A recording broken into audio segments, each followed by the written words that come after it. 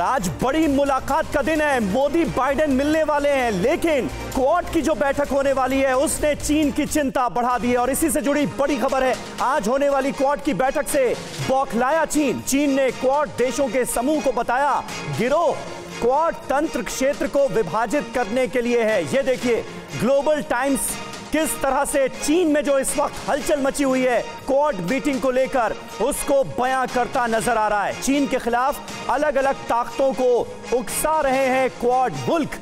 ये कह रहा है ग्लोबल टाइम्स, जो कि चीन की सरकार का पिट्ठू अखबार है। क्वाड का एजेंडा खतरनाक है।